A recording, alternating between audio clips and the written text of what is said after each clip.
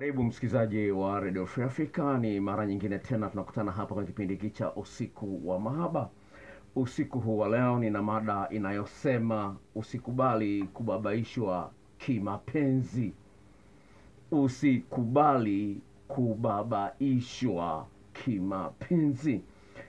Nimekuletea mada hii baada ya kukutana na kesi mbalimbali, especially kaka mmoja ambaye amempigia simu baada ya kusikiza kipindi siku ya Jumatano.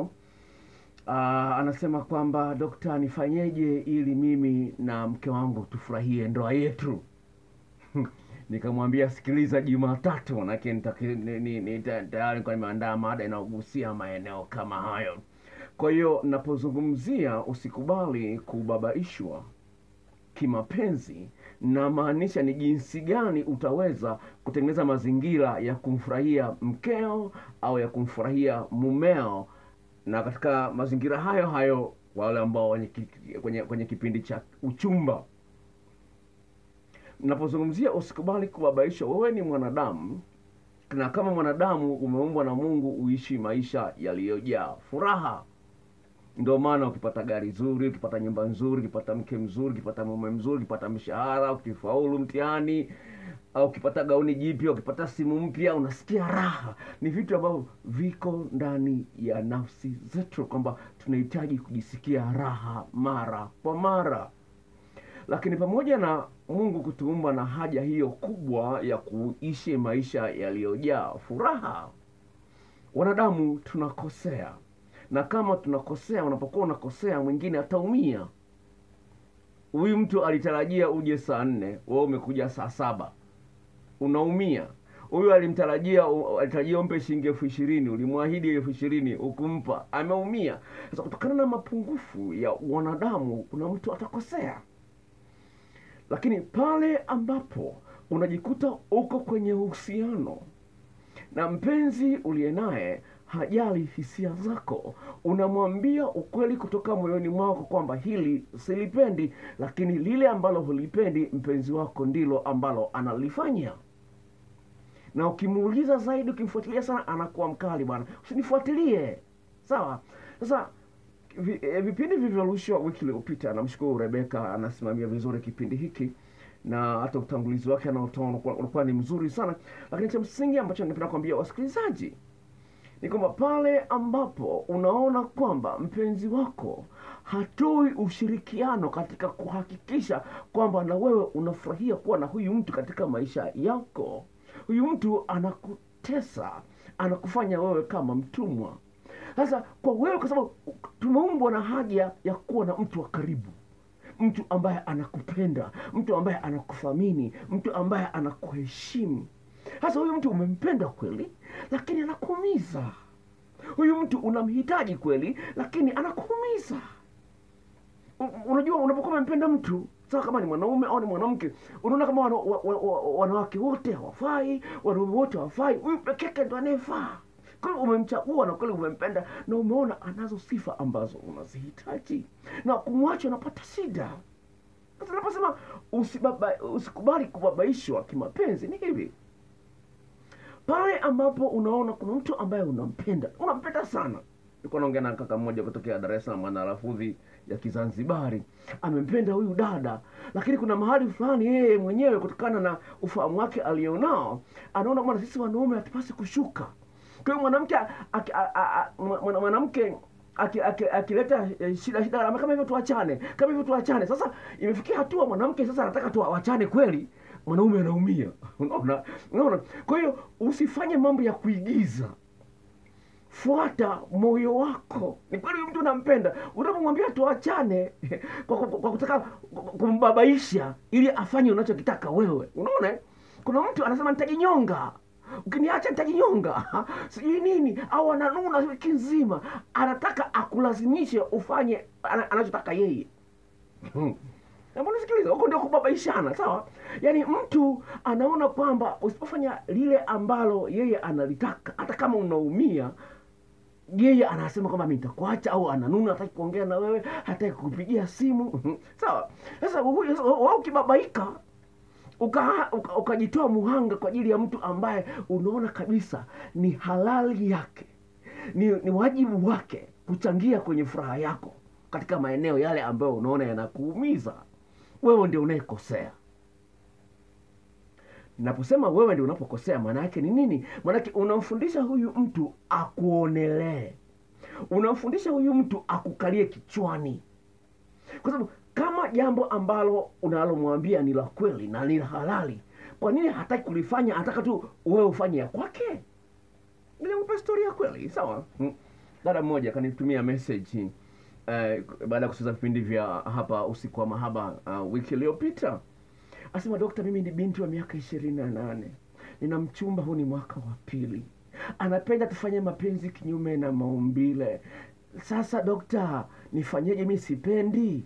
Nikamuuliza swali. Katika miaka hiyo yote miwili umeshamkubalia kufanya naye kinyume na maumbile?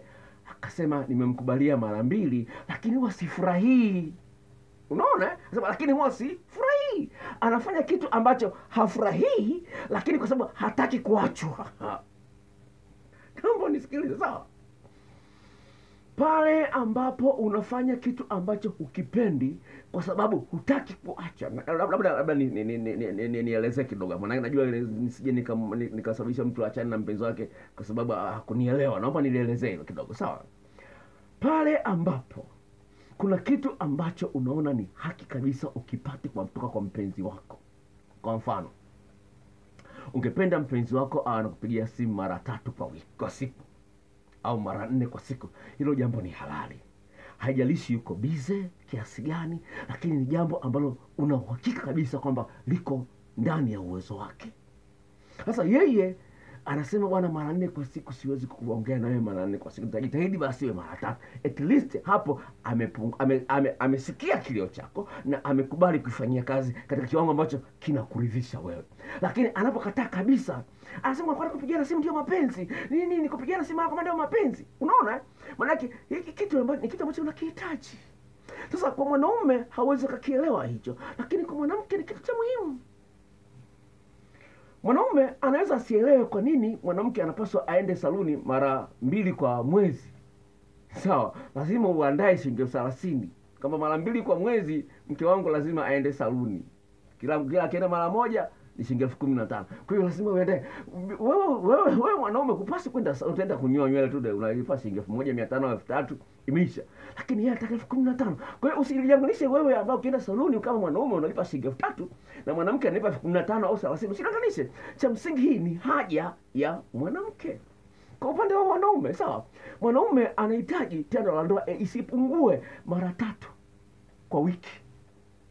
Sawa sasa nime- nime- nimeleta mfano sawa eh, mwanaume anahitaji tendo la ndoa isipungue mara tatu kwa wiki nazungumzia kwa watu ambao wako ndani ya ndoa sawa kwa sababu ni tendo la ndoa sawa kama nyewe kwenye uchumi mmeanza kushiriki tendo la ndoa basi shauri shauri lako hiyo ndio kanuni ya mwanaume sawa hiyo ndio kanuni ya mwanaume sawa kwa hiyo lazima ufahamu kwamba sawa huyu ni mwanaume ndivyo anavyohitaji ndio hitaji lake kubwa kwa hiyo wewe unapopuuzia kutimiza hitaji lake na yeye atapuuzia kwa kwa saluni au la kupata gauni.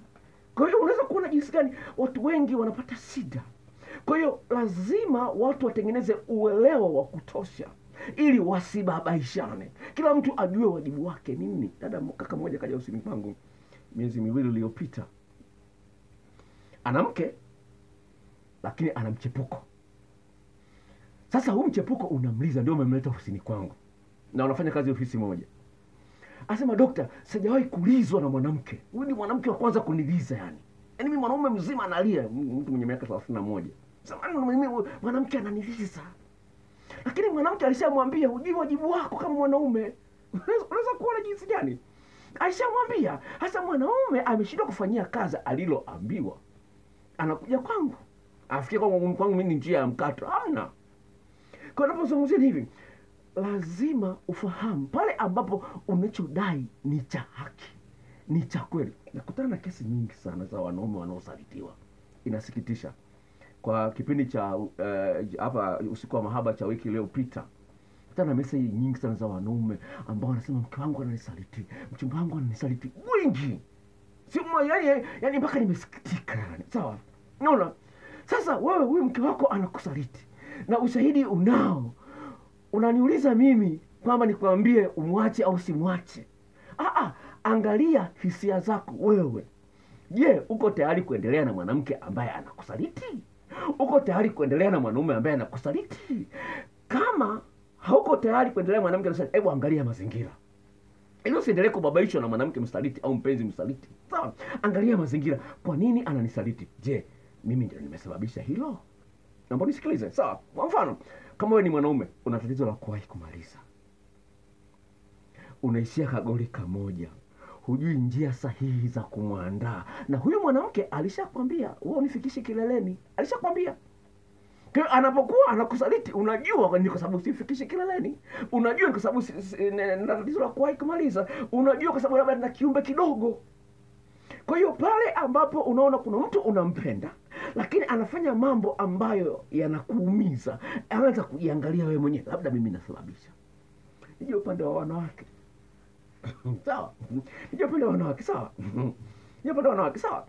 Ili usibabaishwe kama mwanamke je jiangalie ni kweli unatimiza haja za mwanaume? Naomba nikupe mfano mmoja. Sawa. Naomba nikupe mfano mmoja. Nipigiwa simu na dada mmoja.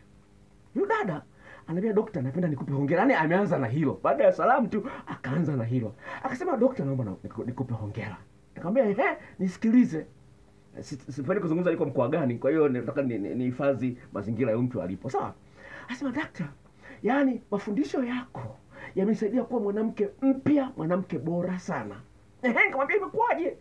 Akasema hivi nimekuwa nakusikiliza radio africa nimekuwa nakusikiliza youtube. Sasa mafundisho yako nilikuwa nimeenda klabu amepata mtu msomi sawa? Ni dada.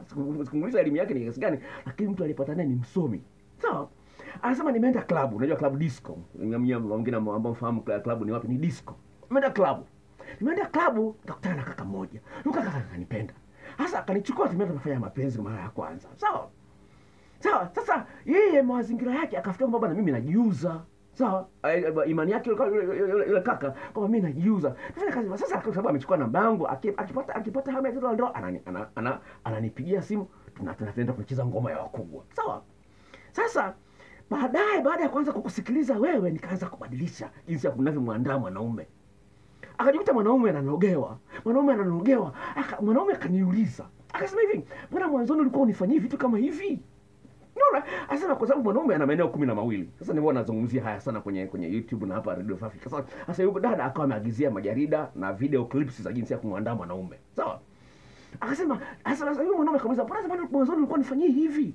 Akasema basi tumepata rafiki yangu ana kitabu kimoja nimekisoma ni kimenisaidia sana. Daktari, huwezi kuamini huyu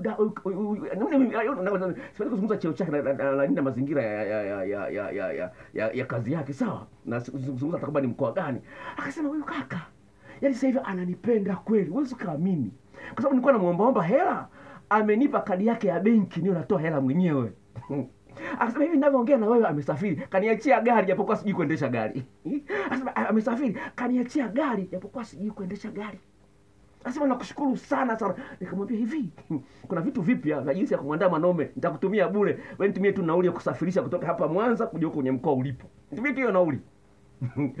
Unaweza kuona. Yaani nimefurahishwa na ushuhuda kuona kwamba na najua kwamba Radio Africa kwamba inasaidia watu wengi sana. Yaani watu wanaowasaidia si wengine si wajui, lakini wanafaidika. Kuna kama mmoja akaniambia, "Dokta, nilikuwa sijui kama namtesa mke wangu, lakini umenisaidia sana kupitia RFA." Kuona. Kwa unaweza kuona yani kuna mtu hajui kwamba anamuumiza mwenzie. Sasa ili umfundishe kwamba anakuumiza usikubali kubabaishwa. Amenuna. Amenuna isikubabaishe.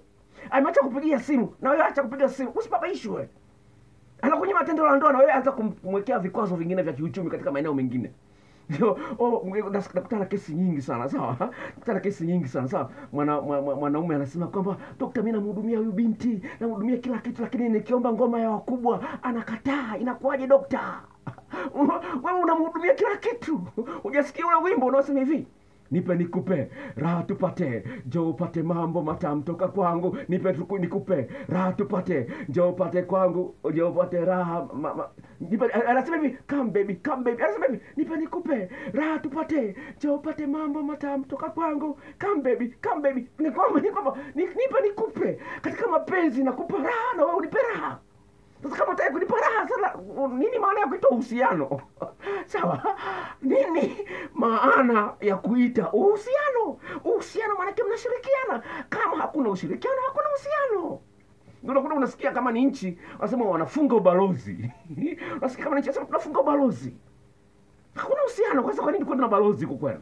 Kwa nini niendelee kwa nini niendelee kuwasiliana na wewe kama sina uhusiano? Sasa mtu akupigii simu unasema na uhusiano na uhusiano gani? Hamna kupigiana simu uhusiano gani unakushirikiana kushirikiana tendo la ndoa? Uhusiano gani wa kimapenzi?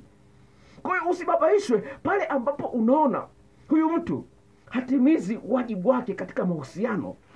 Ni wajibu wako kum, kumgomea na kum, ili umfundishe ajue kwamba anapaswa kuwajibika kwako kimapenzi sawa sawa kikamilifu.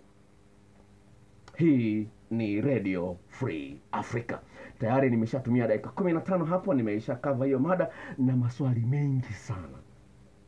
Na nikipenda niajibu maswali yako. Wale ambao wanafungulia kipindi hiki kwa mara ya kwanza sawa eh? kipindi hiki kinarushwa kila siku jumatatu na kinarudiwa jumatano. Kwa kama unasikiliza jumatano tambua ni marudio.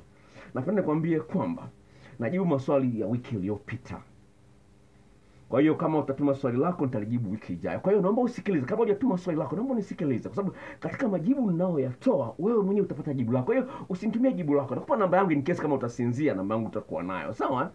Kwa hiyo sio nakupa namba yako ili swali lako litume sasa hivi nilijibu sasa hivi. Ah ah ni mpaka wiki ijayo. Nitachambua. Alafu nayaandika alafu nakuletea hapa. Sawa? Namba yangu ya simu ni hii ifuatayo. Sifuri saba tano nne sifuri tatu tisini na tisa tisini na nne. Nitarudia.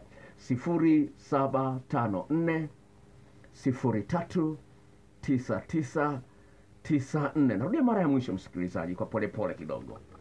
sifuri saba tano nne sifuri tatu tisa tisa tisa nne. Okay tunaingia kwenye ungo ya maswali. Tafadhali utakapokuwa unatuma swali lako ningependa kufahamu kama wewe ni mwanamke. Maanake itakuja kwangu katu kama namba. Nifahamu kwamba wewe ni mwanamke au ni mwanaume. Na kama ni mwanaume au ni mwanamke una umri gani? Na uhusiano wako una muda gani? Hiyo inanisaidia mimi kuelewa mazingira ya uhusiano wako. Sawa naomba tafadhali ulizingatie hilo. Kwa hiyo naomba nianze na swali la kwanza. Swali la kwanza ambalo limekuja hapa studio uh, ni swali lenye kichwa cha habari kifuatacho